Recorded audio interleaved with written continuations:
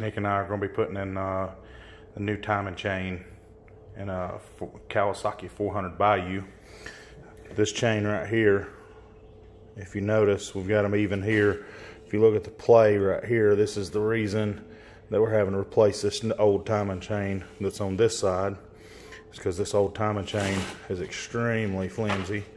So if you pick it up, you can see how it does the whole little whoopee. And then this one right here, it don't quite do that. It'll stand up straight. Um, so it don't have as much, it don't have no wear on it. It's brand new. So we'll uh, go over here to the four wheeler and I'll start showing you backwards since we've already taken it apart on how to put it back together. So here we are over here to uh, old Kawasaki 400 Bayou. Show you how to do a timing chain in it. Um, it's got uh, new timing chain guides that we've already put in it. And uh, so today we're going to put in a new timing chain. That way uh, we can get this thing timed and, and hopefully we'll show you how to do all this and get it back together. I should have took a video of it, taking it apart, which is pretty simple. So uh, I guess we'll get started. Um, first thing you're want to do is you're going to have to get you one of these tools right here and what it does is whenever you push that it'll come out and bite it. Um, I have done this before and only used a piece of wire so that you can drop it down in this hole here. And as it goes down it pops out down here. You can take this timing chain slide it around the gears here. Then you can push this puppy push this puppy out like this and bite that timing chain. What that's going to do is that's going to allow you to pull that timing chain right on up in there. Uh, a lot of people say this is something that you can't do at home. You need to get a uh, dealership to do it. This is it's actually pretty easy to take care of. Um, and, and once you get that bottom on, so there is a little brace right there that, uh, and what that does is that keeps, if that chain, when it gets wore out or if it comes, when it comes off or when it's got a little bit of chain slap, so it doesn't come down here and break this little gear right here um, in the process. So, so once you get that on, uh, then you're just gonna pull the timing chain up, get it up here at the top. We can go ahead and take that off we've already got our cam in right here. Um, we could actually pull this cam out and go ahead. That mark right here, you'll see a little bit later on, that mark right there actually has to be lined up just like so, right even with the top of this uh, valve box right here and that that's where you're going to want top dead center. Now the marks are on the other side of the four-wheeler for everything else. So we'll um, we'll time it after we get this whole thing back together though. Uh, I don't know, maybe not. Maybe maybe we'll go ahead and time it. So we decided to go ahead and time it. Um, what I've got here is a three quarter inch socket and a uh, 3 8 drive ratchet. If you look up in that hole right there, should be able to see that's Mark 1. Mark 2. If you see that T, that's where we wanted at right there. That's where top dead center is. And uh, that's where we want to be timing from. Uh, now we'll go over to the other side and we'll time out the cam. So now we're on the right side again, over here with the timing chain, and we've got it pulled up in here. Uh, so we're gonna get this timing chain worked down and around on here. Then we're gonna go ahead and set this cam to where that both lobes on this cam should be pointing down when you do this. And if you do it the way I am, you should be able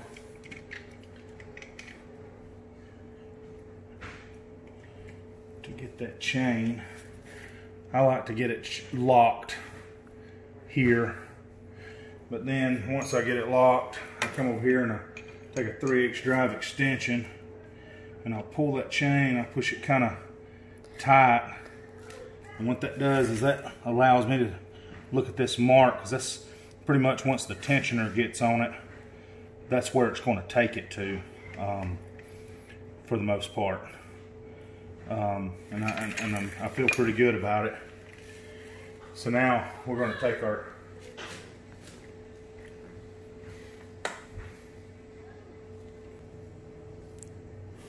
So now what we're going to do is go ahead and run the timing chain gear off.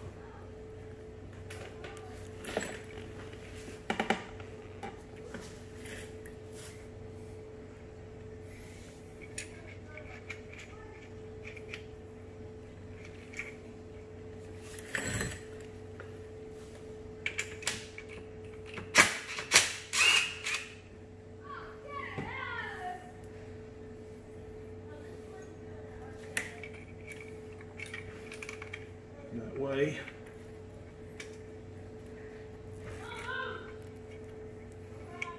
You can drop it down enough to get it on there. And like I said, we've got the other side is on top dead center for the crank. So now we need to get our cam gear on top dead center.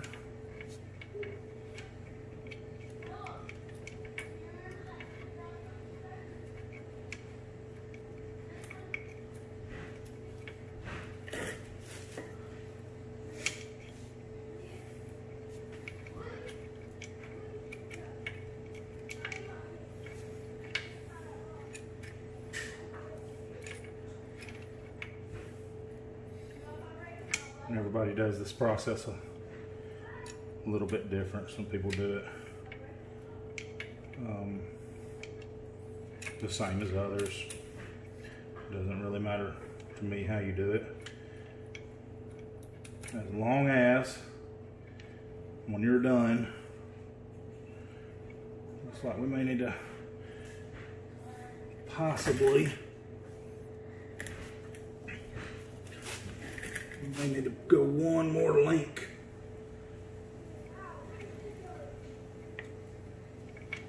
Around.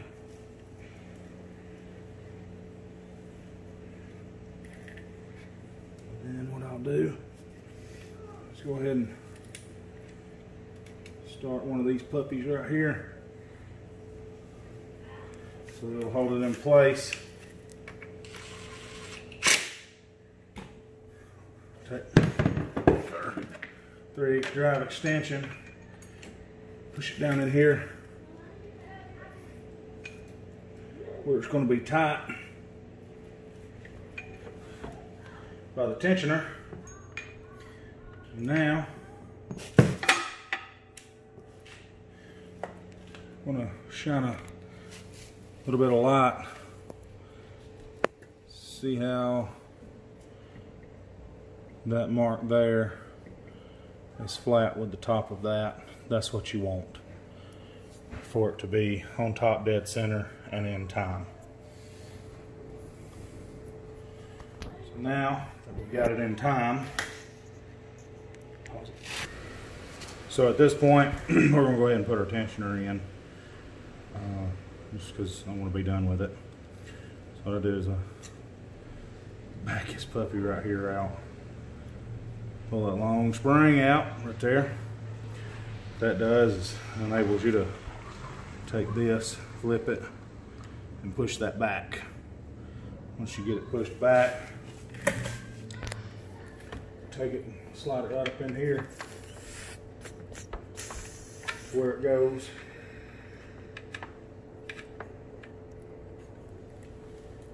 That way, uh,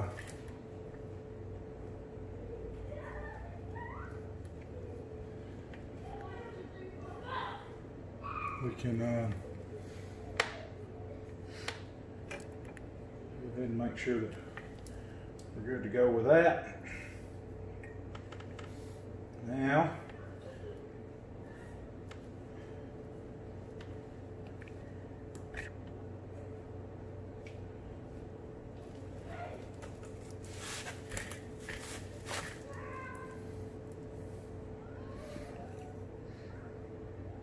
Now we're good with that. So right here, I don't know, can you see that right there? There's a little card key right there. Um, you want to get that locked in. The way this little gear right here, notice how it's got a washer on this side. That's the side that comes out towards you. You can slide that washer off so that you can see where to line that gear up at. And slide it up on there. Get lined up on that cotter key. And you do what I just did, where you knock that cotter key off. Now, give me just a second and let me get that cotter key out of there. So, where, where, where the washer goes on the outside, so what you want to do, this little cotter key we dropped just now, it actually fell down in behind here. And what I did is I took the little screwdriver, stuck it in there, and just run it right around until it came back up to right there in order to get that cotter key out. So now I'm just gonna slide that gear on. I'm gonna take my little screwdriver and kind of hold that key so we don't drop it again. Um, yeah, I may See if I can get it right there. So now that's on. And what that does is that gear right there turns that puppy.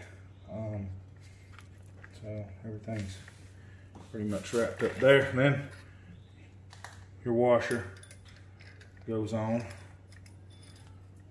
That's right.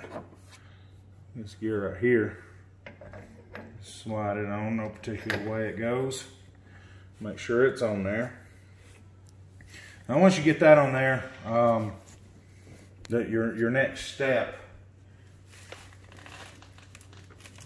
is your clutch pack. Um, this gear right here rides here. That's what runs it. So no timing necessary on it either. So you're just gonna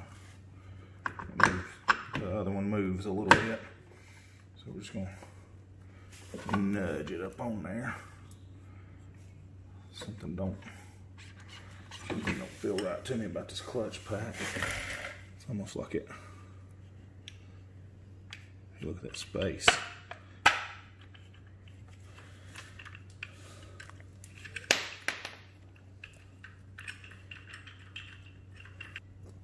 So you clutch pack and it's gonna ride out a little bit like that, I determined. Um, so all we're gonna do, line it up.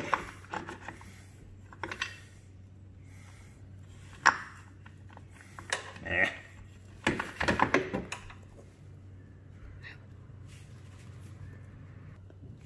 So take clutch pack.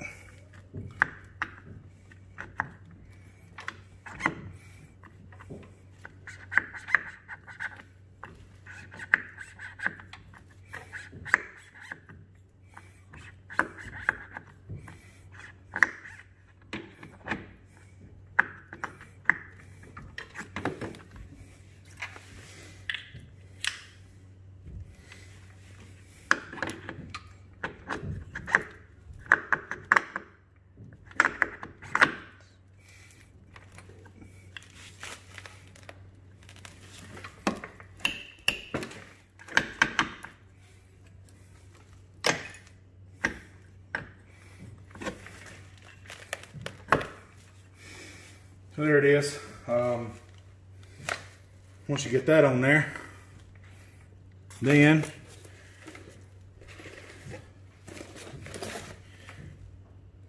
nut.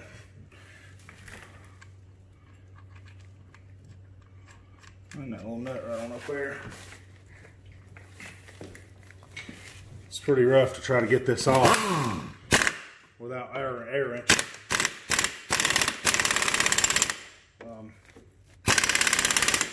Put it pretty tight. It ain't going nowhere. I can pretty much assure you on that one. Um, once you get that in, right there, clutch, part of your clutch. Got these four springs. Slide them puppies right there.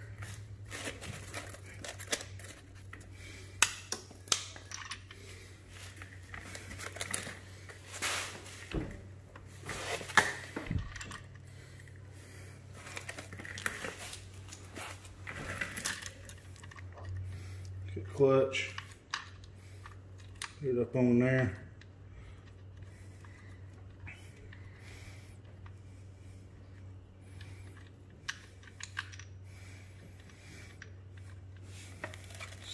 Start every one of them by hand. Will try to, you can take a socket and an extension if you need to because it does get a little bit slippery. Um, once you get them all started by hand pretty good, couple of threads. Then I go to the trusty impact. So what you got to do is be very mindful you just pull up each one a little bit at a time.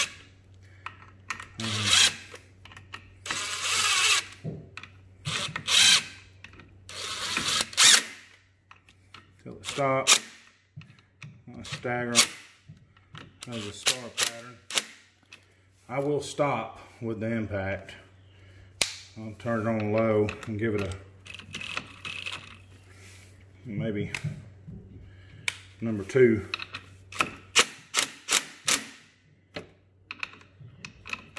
Just enough to lock it in there. Then I'll come back. Once I get everything kind of locked down, I'll come back, tighten it up a little better. Right there is your automatic shifter. Um, Got to make sure it's in the right place. And the best way to do that is just make sure it's in the center of these two bolts here. Um, pointing to the center of here, center of this shaft is what you want. Um, it's the plate over here that covers the cover actually has a shift fork here that shifts it out. Um, so with that being said, that just slides up on there.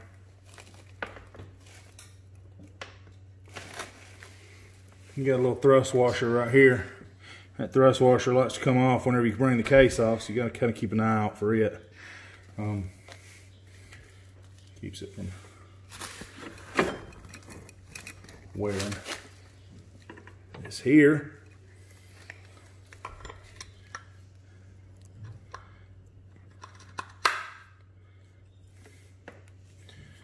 Take this. You're gonna slide this right up on here.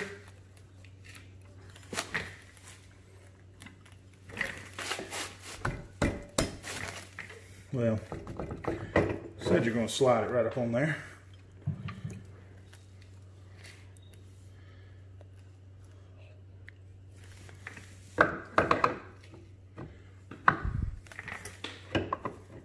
So these splines and these splines have to be splines here and here. So whenever you put it back together, you gotta reach back here and you need to reach back here. You can grab your clutch here, get them lined up.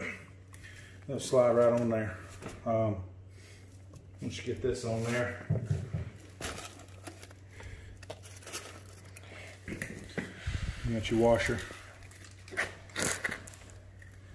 nut.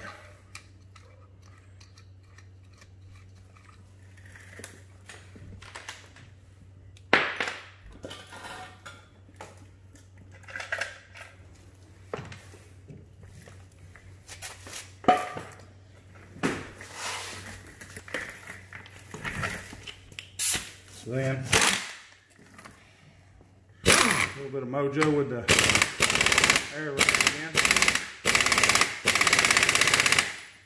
Got everything buttoned up pretty good. Um, with that, so everything is pretty much right over where it needs to be. The timing's done. So I'm gonna go ahead and spin that.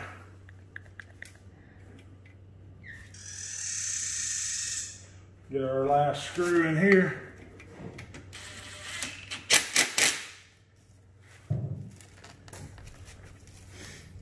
Now, timing chain is pretty much done. Only thing to do now just kind of going around this chicken to see how much of the gasket come apart. Looks like a little bit did. So we're gonna a second, clean everything up, and then um, we're gonna when we come back uh, after just a second, we're gonna have it all cleaned up and we're gonna slide the case cover back up on there and put the bolts on it and try to hopefully here in a few minutes get this thing started up. So at this point, we've got our cover back on. We just cleaned it up. You can see a little bit of glue uh, gasket maker after we got it cleaned up, put on it. And um, now all it is is the enjoyable work going around it, putting all these screws in, getting them tightened up, snugged up, and ready to go. So, you probably don't want to watch this, so we'll, uh, we'll pause for a minute come back when we get that part done. So we got all of our bolts tightened up on our cover plate. Um, the only thing left to do now is to go ahead and put our rocker box back on. It'll, we're not going to do that right now. We'll uh, go ahead and do that uh, tomorrow evening. And uh, hopefully then the weather holds off and we'll give her a test ride.